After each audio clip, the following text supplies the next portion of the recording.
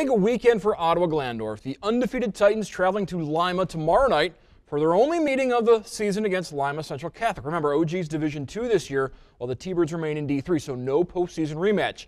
But before they can take on their rivals, Titans with their WBL opener, also in Lima, as they head south on 65 and take the left to go to Bath. Wildcats 2 and 2 on the season. This one would be a close game come down to the final minutes. It's a two-point Bath lead with one minute to go.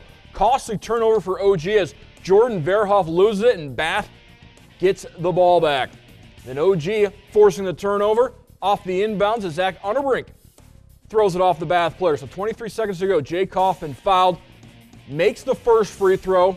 So it's a one point game now. Kaufman's second shot, no good, but Verhoff there for the putback. OG goes up 46 45. Bath, one last chance. Chad Fry with time running out comes up short. No controversy this time. Ottawa Glandorf picks up the victory over Bath 48 45. Kaufman finishing with 11 points. Andrew Renner 21 points, 12 rebounds in the loss.